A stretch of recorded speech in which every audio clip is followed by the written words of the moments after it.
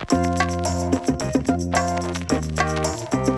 Kristy Glass, and I'm here with Moogly, aka Tamara. And so tell me your fiber story. okay, well, my daughter is 17, Mhm. but shortly after she was born, I was, um, you know, I was dealing with that whole postpartum thing. Mm-hmm. And I really needed something that I could do Mm-hmm. and have done. I think anybody who's raised kids knows the work is literally never, ever, ever done. Uh-huh. And I always loved working with yarn, but nobody ever taught me how to crochet or knit. Uh-huh. Literally, all I could do was make those long finger knit stripes. Uh-huh. Like, you know, just like long chain, basically, long chains. Yeah. All I knew how to do. Yeah. Finally, she was about six months old or so, give or take. I don't remember. She was a baby. Yeah. It's all very fuzzy. But I finally um, found somebody who just showed me how to like chain and single crochet. Yeah. Once I had somebody show me in person, I was off and running. I loved it. So I did it as a hobby for a long time, and it really gave me that sense of satisfaction. Mm-hmm. So that's why I always say I'm a project crocheter, not a process crocheter, Mm. because my favorite part was at the end of the day, the house, you know, I may have cleaned it three times, and it was still a mess. There was another meal to cook, another diaper to change, but I'd finished something, something that was Mm. completely done. It wasn't laundry that was going to get dirty again. It was done. It was something I could show that I'd finished and made, and that really gave me the boost I needed to get me out of that funk. And um, so I just took off from there, and I just sort of was doing it as a hobby. And then two more kids later, my youngest was going off to preschool, and I had to start contributing to the household as more than a stay-at-home mom.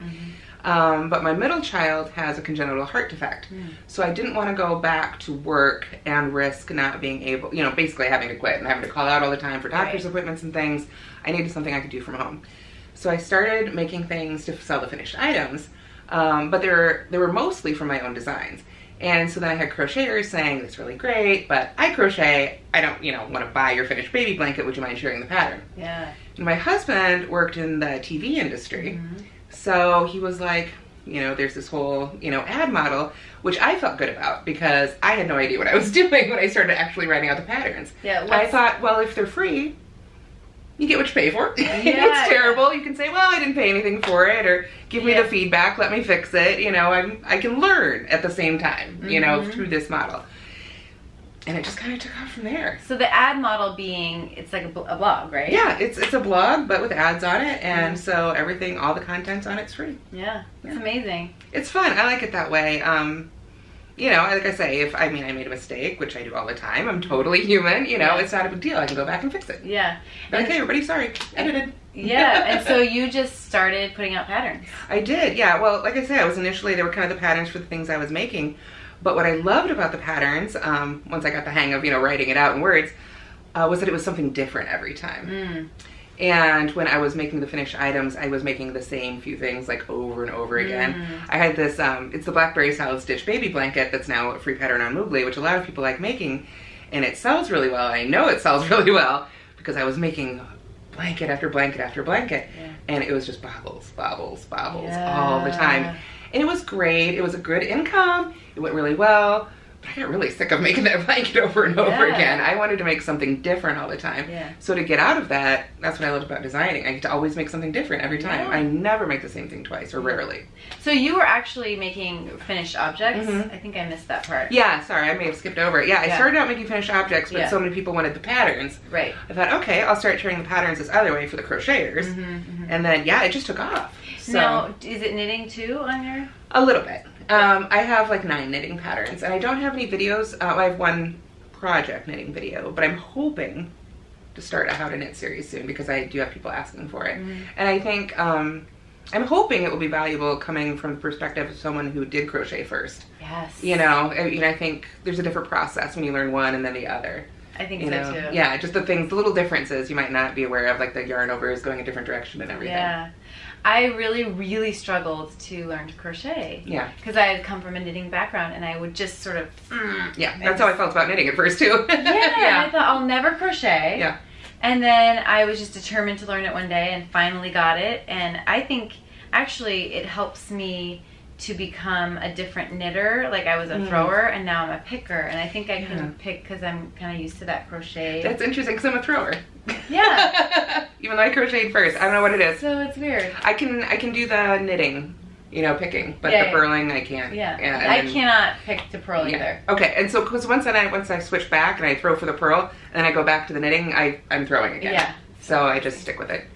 And so it's been 15, 17 years now. yeah, of I made her. I made her Yeah. too, the baby, but she was just six months. Yeah, And- or approximately again, very Yeah. fuzzy period of time. And did you have any friends or family members who were doing it, or this just No, came well- from where? It was um, actually my sister-in-law, Mm-hmm. my brand new sister-in-law. So you know, we were just getting to know each other, and she mentioned, oh, she crochets. She's actually made my daughter a baby blanket, and I was like, oh. Mm-hmm. I finally know somebody. All right, sweet. I've been trying to learn from pamphlets. I had Mm. tried before, and I wish I could find one of the things I made when I tried to learn from a pamphlet. I actually saved it and gave it to my daughter as a baby blanket to use for baby dolls. Um, but it was terrible. It was terrible.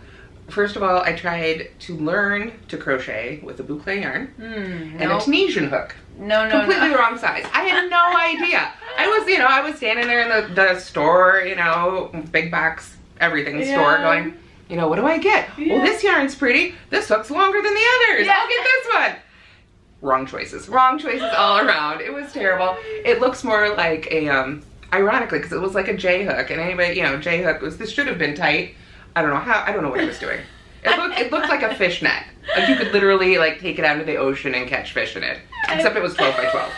So, very small fish. I love that you're like longer is better. Yeah, You know, it was, It no. must be better. it was preposterous. It was the ugliest, oddest thing, but I taught cro- some knitters how to crochet this past year, and some of them kind of started casting on on their hook. oh Like, yeah. No, we're just one stitch at a time most of the time. right.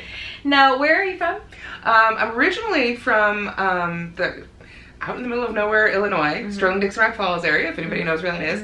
Um, grew up out in the country, Mhm. and now I live in Iowa. Oh wow! Yeah. And so, what's the scene like in Iowa? Because I've been to the second best yarn shop in Iowa. Do you know what I'm talking Yeah. about? Which one? Well, there's a there's a big billboard on the highway Oh, that yeah. says "Come to the second best yarn shop."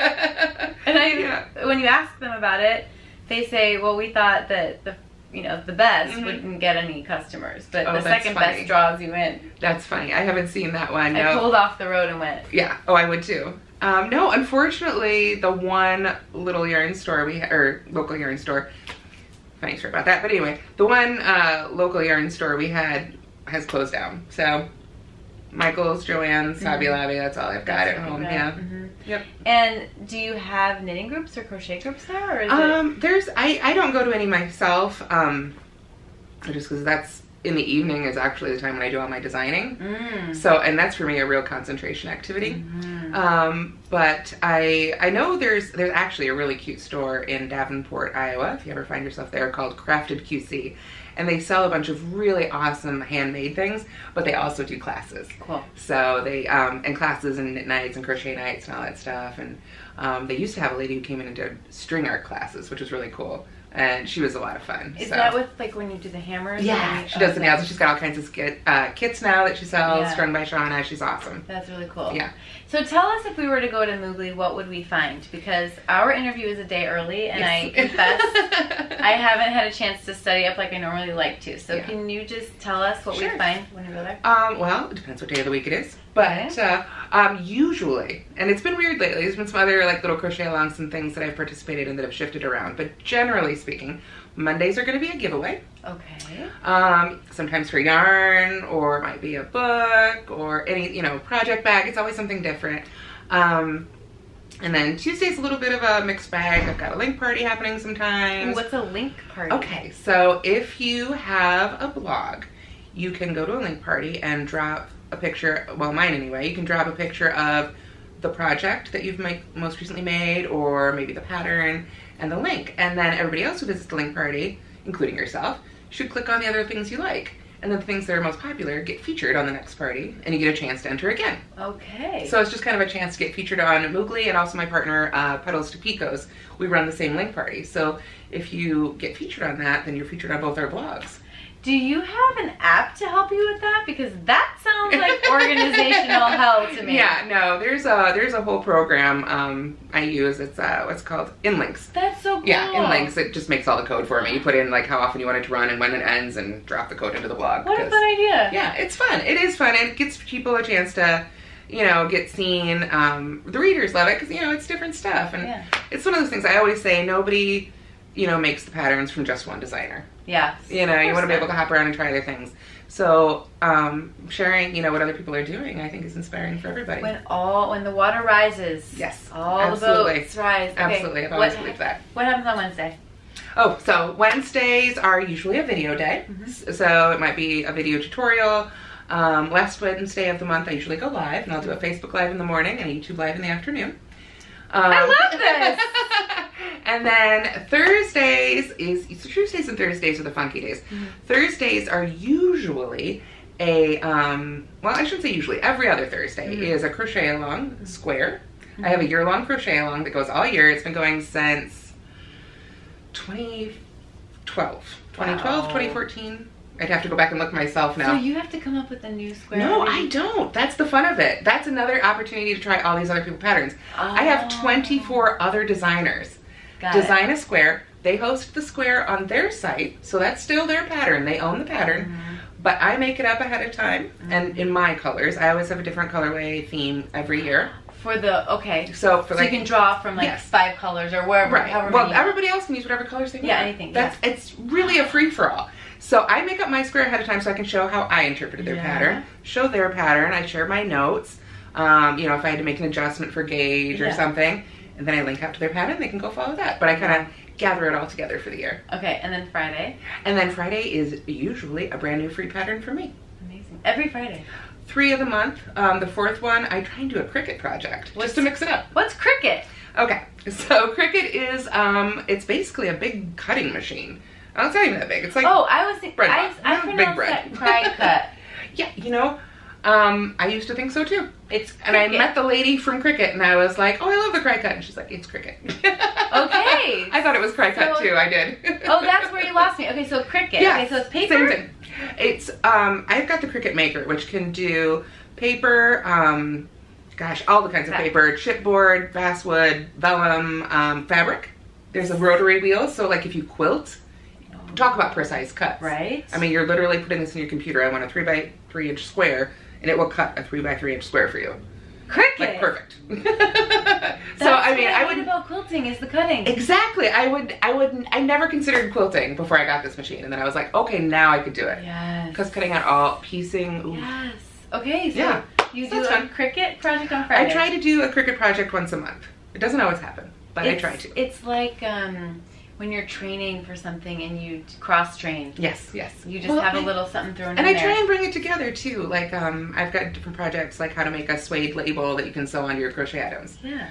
or you know one that looks like a chalkboard that you could i did one that looked like a sort of like a chalkboard that you could put on like a basket Yeah. a crocheted basket so i try and combine it um, like in fact if you are crocheting or knitting for that matter with wool or cotton you could do an iron on So great. you can iron right on the fabric Just put So something on, and I think that's on your Instagram today. It looked like there was a little heart patch ironed on something. that is actually it's not an iron on that was a completely different project What was that? okay so leisure, Look how excited she is. this was so fun this was this was I so much fun you. This was um, Leisure Arts has these well diamond art or diamond dots. I don't know if you've heard of these. Mhm. Okay, they're um, kids. It's sort of a mix. How am I describing it? It's a mix of like cross stitch and Mhm. Stickers, but with jewels. So basically. If you've seen cross stitch um, Yes. patterns, you know there's all those little symbols. Yes. Or like paint by number, maybe Yeah, paint by sure. number, same thing.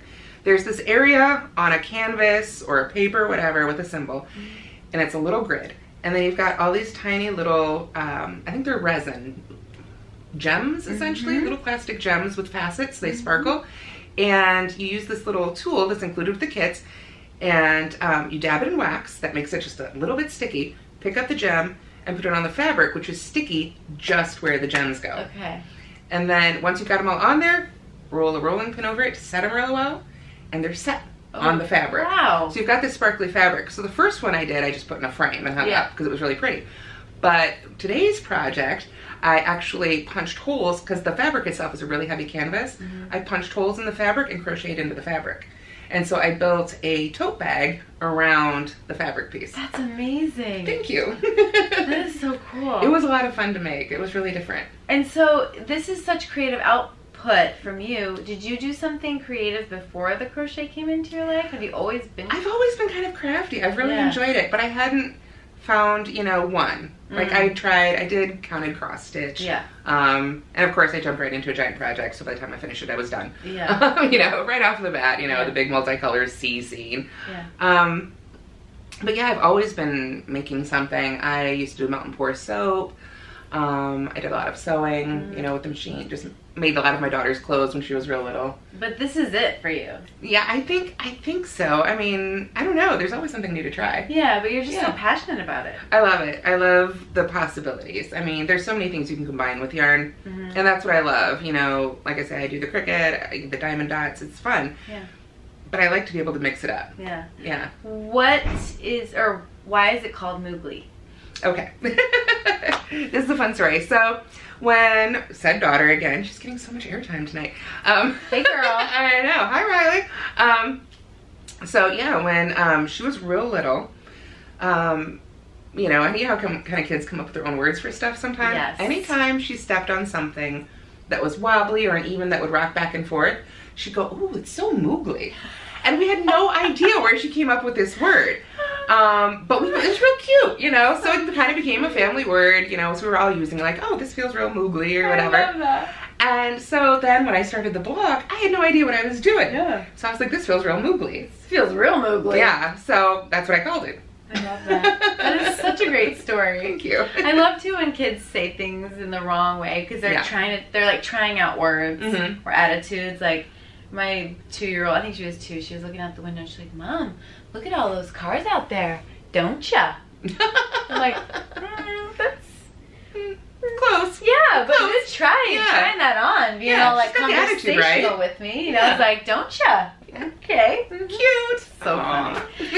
um, okay, so what? I, I want to wrap up because Okay. we we are so. I'm tired. It's you like, don't seem tired. It's like 10 o'clock at night. but I'm. I'm. It's 11 for me. Oh, is it? I'm. Oh. I'm New York, but and you know I have a 17 year old too, so I go to bed early. A 17 year old and a 2 year old? I well, she was two.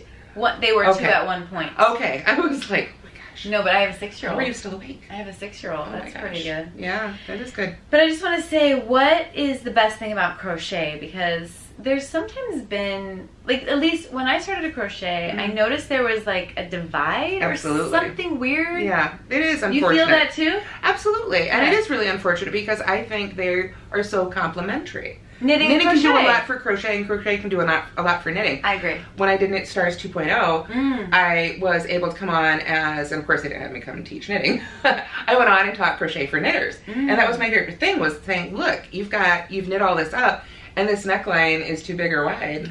All you need is simple, I mean, literally one round of crochet. Yes. You can tighten that up with like that. Yes. Um, there's just so many little fixes like that. Mhm. You know, if you can use a crochet hook to pick up your dropped stitches, you can crochet Totally. you know and but my favorite thing about crochet is just the versatility and the ability to change it on a whim Mhm. and change it halfway through like i've got a few knitting designs and i do enjoy knitting but what i i you know i don't want to downplay anything, but what i don't like about it is that you really have to think it through ahead of time and have a plan like all those kind of stitches either have to be there or you have to have a way to get them Mhm. and working that one stitch at a time, if I want to say, this is really cool, but now I need to head off in that direction, Mm. no big deal. I don't have to bind anything off. I don't have to worry about That's picking right. up stitches. I just go. Slip stitch on over Yep, if you're on the yep, wrong whatever side. I want to do. Yeah. Yeah, Yeah, So I, I I do like. like. that too. yeah, I feel like I can be more freeform with crochet. absolutely, absolutely. And I think um, working with crocheters is really fun because um, just something I've noticed is that knitters tend to follow the pattern more, Mhm. and crocheters tend to say, "This was such a cool pattern. I did this with it," and then you know they took off in a different direction, and I love that. I Yeah. love that people are so. It's it just seems so much easier to customize. They can Mhm. really make it what they want. Take the parts they like, combine it with that, this, the other, and really make something just for them. I love that. Yeah. Well, under this video, I'm going to put links to what we talked about. Do you also have a podcast? I don't have a podcast. Um, I have a YouTube channel. Okay, so you do have a YouTube channel. Yes. Is that where the videos The videos, from? yeah, they're hosted on YouTube. I also, um, if there's usually, um, there should always be a link to the blog underneath each video, each video Uh-huh. on YouTube, and when you go there, that's where all like the rest of the links are. So they like complement. They each other. definitely, they're embedded there too. Um, like now, I didn't start out doing this, and I'm trying to go back and fix it. But I always do right and left-handed videos. So if you need one or the other, you can just go to that link, and they'll both be there, as well as the link to the written pattern if that's referenced, the yarn, the hook, the needle, whatever else is in it. So you can left-handed crochet too. No, that's called video editing. Yes. You reverse it. All you have to do is flip that part of the video. It's the exact same thing. Moogly. That's Yes. so. I feel I know, so moogly about tricky. that. That's so tricky. It's the same thing. You just flip the video. Oh, and, it, and and people respond to it. They, Oh, it helps. it works. Yeah, it works. It's it is literally the. I mean, that's all it. That's amazing. Yeah, I wish I could crochet left-handed, Right? but alas. I've Well, that's amazing. I'll have to I try. am so happy to have you here. I love your energy, Thank especially because I'm feeling a little tired today.